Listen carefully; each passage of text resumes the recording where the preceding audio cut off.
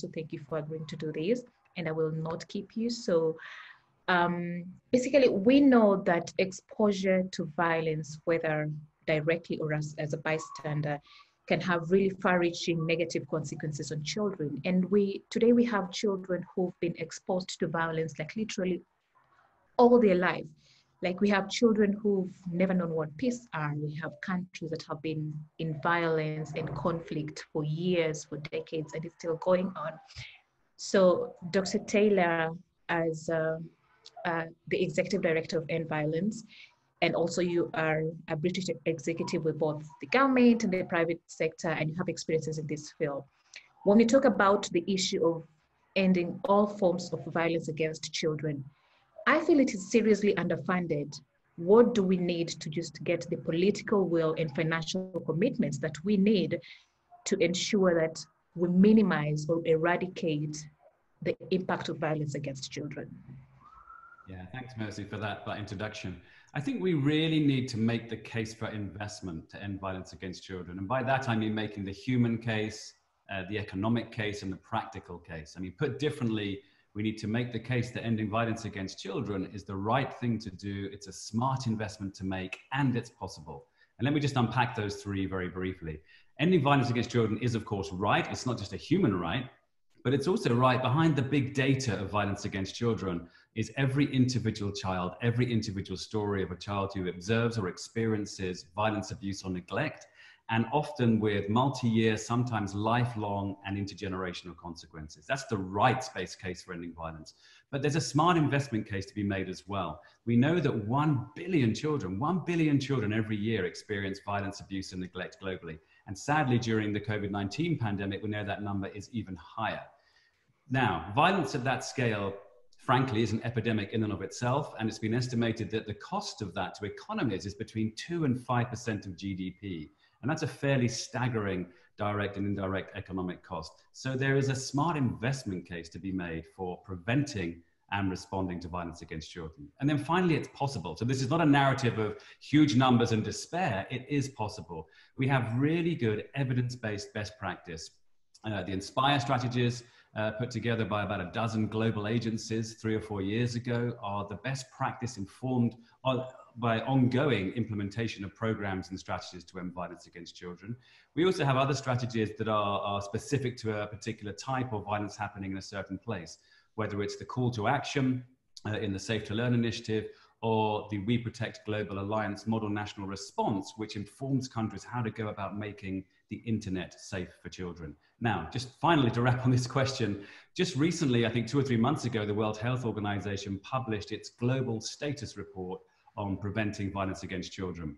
And that report showed that while 80% of countries do have some kind of national action plan to end violence against children, only 20% of countries have a national action plan which is either fully funded or has the right measurements and targets uh, of approach. So there is a big gap between intent and implementation. So if I, I would, a couple of things I think we have to do as a global community is to be sharing cost-effective evidence-based solutions, but advocating as well, making the investment case I just described to get the proportionate political commitment and financial investment. I really like when you say, you know, having evidence-based solutions. And you've talked about COVID-19 and the effect it is having in children. Now, you know, we have children who are experiencing emotional violence, physical violence, sexual violence. The list is endless just during the six months or so that we have been, you know, under this pandemic. And it is essential that, you know, if we have to build back better, then we have to put children at the center of the policies that we are making.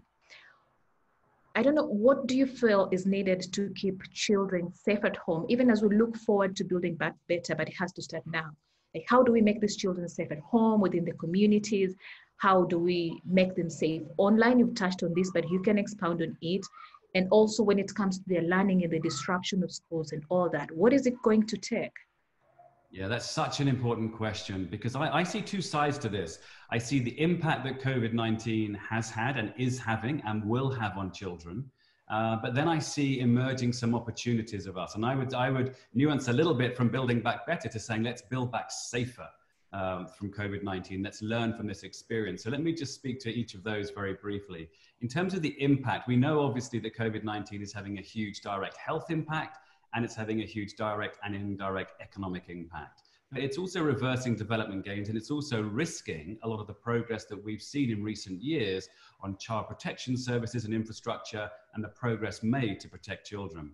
And specifically, we've seen children at home. So, at one point earlier this year, I think one and a half billion children were out of school and at home.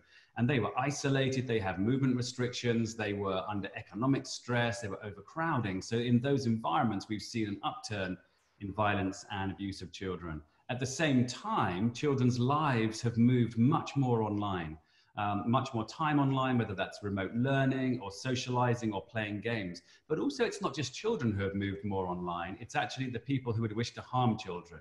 And we can talk about the range from cyberbullying right through to the very serious child sexual abuse and expectation, uh, exploitation that takes place online. But those people, those perpetrators also moved online and were more easily enabled to, to hunt down the children online that they wish to harm. And then thirdly, the school piece, because of course, with so many children out of school, there's a real risk that there's a generation of children with a gap in their education. We've seen uh, evidence coming out and concerns that many girls in particular, once they leave school, will never go back to school. And even in this environment of increased remote learning, and frankly, whether that's in a developed country or whether it's in a less developed country, it doesn't matter. We are seeing across the world uneven access to digital devices and to internet connections which are hindering that remote learning.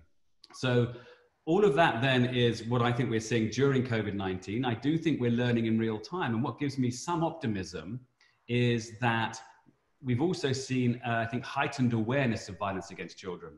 So I think the opportunity when we talk about building back better or building back safer is to leverage that heightened awareness, um, keep on sharing in real time based on evidence what is working to keep children safe at home, at school, online, pursuing new collaborations, and I've seen some of those develop at real speed actually during the COVID 19 pandemic, and make sure that we are collectively and collaboratively uh, pursuing the, the highest impact interventions and, and delivery mechanisms. Um, in the short term, I think it means continuing to advocate to make sure that child protection, the ending violence against children features appropriately in COVID 19 prevention and response plans. But then we also need to make sure that as governments and others turn their attention to post COVID policy, to planning, to financing, that child protection and ending violence against children is featuring in there. And we have three particular initiatives. I won't cover them in massive detail, but one is a called Pathfinding, where governments make a, a, a domestic public commitment to, uh, on top of the commitment they've already made to the SDGs in 2015. And that commitment is to end all violence in their country by 2030. They draw on global best practice. They get local data to inform preparation of a, of a domestic national action plan. And then with support from domestic and, if necessary, international partners, implement, finance, and, and measure progress against that plan. We have another initiative, Safe to Learn, which is, is, is a joint initiative of the uh, education sector and the end violence community, which is about schools who have such an important role, not just in education, but of course in children's broader development and preparation for adulthood. And we've seen during COVID that the absence of going to schools doesn't just remove the educational experience for many children or dilute that educational experience as it moves online. It removes peer networks, it removes reporting mechanisms of violence and abuse that might be happening at home, and so on and so forth. So, Safe to Learn is an initiative with multiple wins focused on the child's learning environment environment, which if we can make that safe, there's a multiple win of learn, improved learning outcomes, better leverage education investments, and children growing up safe and secure with a ripple effect more broadly for ending violence. And then just finally, because you mentioned it, Mercy, about the online piece, uh, our safety online portfolio is investing in those around children to make sure they are equipped to prepare children to be safe online. It's investing in uh, prevention measures, in response measures. We're drawing on a huge network of global grantees now we have in the online space in nearly 70 countries. A huge evidence base is building, and we're using that also to inform uh, our global advocacy because we need to advocate to tech companies, to telecoms companies, to governments and others to have safety by design, to make their platforms safe, and for governments to pass the right kind of legislation that will keep children safe online. Thank you very much. And, and, and I think you've briefly touched on the question I was going to ask next, and that, you know, the role of private sector, because you've talked, you've talked about the government and the policy uh, making decisions of the government and how they can come up with legislations that protect children. But I would really like you to emphasize on the role of the private sector because, like you say, it's all about partnerships and you know collaborations and not just the government doing one thing on its own what can the private sector really do to ensure that children are safe and that we end violence against children? And especially um, online because just like adults especially during this covid-19 period we have children who are spending so much time online.